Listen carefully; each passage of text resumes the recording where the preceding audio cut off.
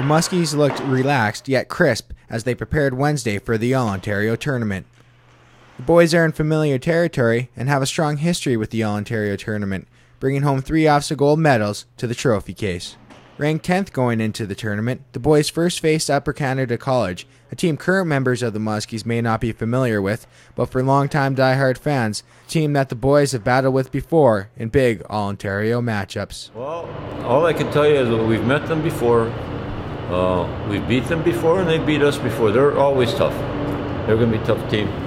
There were question marks going into the season as to how successful the team would be, with so many new faces and a new head coach. But many first year players, such as forward Ryan Shortreed, stepped up to the challenge and get to make their first trek to OFSAA.